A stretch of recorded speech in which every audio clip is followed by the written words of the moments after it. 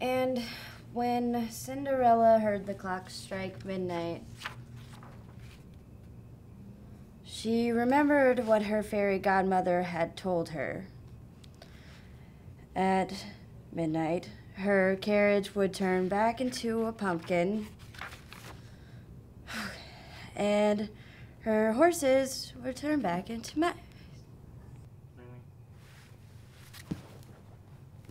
Hello? Oh, what up, Shouty? Listening to the story of Cinderella. Back off. You don't know no story of Cinderella. Now, hold on a minute. Now, calm down. If you quit running your mouth, then I tell you.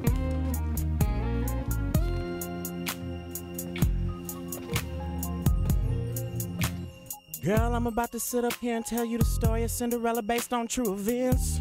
Don't need no evidence. Story talk. See, girl, this little white girl was cleaning fireplaces and other things for her evil stepmom. What? What?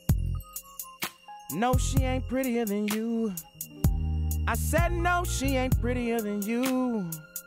Now let me finish. Story talk. Her stepsisters were ugly.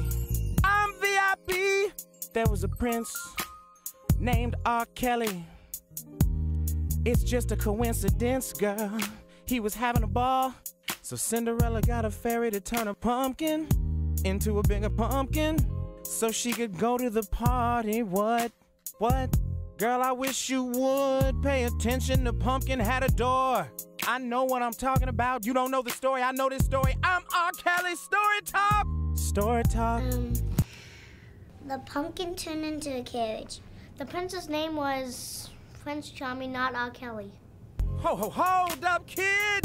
Didn't I just give you money to buy an ice cream from the ice cream truck? Yeah, your face was smiling then. Back to my story. Cinderella went to the club and she was bumping and grinding so hard that she lost her shoe. But she still had a pumpkin. I said she still had a pumpkin. Story talk during the after party. The fairy's magic wore off and her pumpkin went back to a smaller size. She was like, Ooh, I wish my pumpkin was big again. But it ain't, so she went home. Story talk. Prince R. Kelly found the shoe. I told you it's just a coincidence, girl. I ain't gonna tell you again.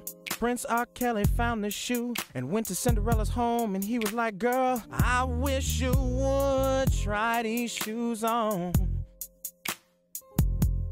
The shoe fits Cinderella, and Prince R. Kelly was like, I told you it's just a coincidence, girl. It ain't me. I've been with you five years now, and you think I'm gonna cheat on you with a girl who cleans all the time? Is you tweaking? No, you are gonna let me finish. What? That's it, I'm sick and tired of all this. I'm coming home, getting my stuff, and getting up out of Dodge. You ain't gonna have to worry about me no more. And the next time you want a story, go ask one of your funky librarian friends. Story talk. You bogus girl, Milton. Milton, start the car, warm it up. Get ready to take me home. What's wrong with that girl? She lost her mind.